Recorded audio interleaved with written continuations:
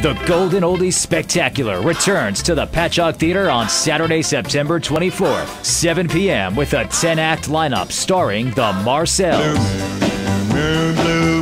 Jimmy Gallagher, original lead of The Passions. Barbara Harris and the Toys. Vito Balsamo and the Salutation. The Manhattan Skyline, Johnny T and the Cameos, with a special tribute to Johnny Maestro and the Crests.